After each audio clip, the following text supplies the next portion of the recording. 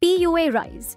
Daman was more than just an event, it was a movement, a bridge between innovation and those who build the foundation of our industry every day. The message was clear the future belongs to those who adapt, collaborate, and grow responsibly.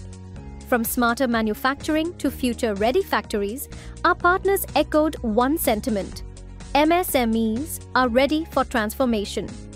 Hear what our participants has to say about. Attending PUA Rise in Daman was truly a game changer for us as MSMEs in the plastics industry. The format was refreshing, it wasn't just another conference. It was a platform where our voices were heard and valued. Hearing from SIDBI about the real financial opportunities tailored for MSMEs and learning how DIC is facilitating ground level support gave us direct clarity on how to grow smartly and sustainably. What stood out was the access to industry giants like FANUC who spoke about automation and robotics robotics for small manufacturers, and Nepra who helped us rethink waste, recycling, and sustainability from a business lens. The EMC session opened our minds to how MSMEs can scale with the right ecosystem of manufacturing clusters.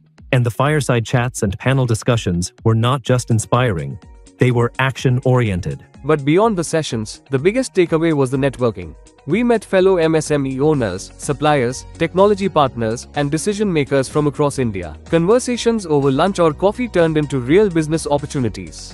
We exchanged ideas, challenges, and even leads. Honestly, PUA Rise gave us the chance to build lasting industry connections that would have taken months to establish otherwise. The event was intimate, focused, and truly curated for growth minded businesses. For anyone serious about staying ahead in the plastic manufacturing value chain, this is the platform to be a part of.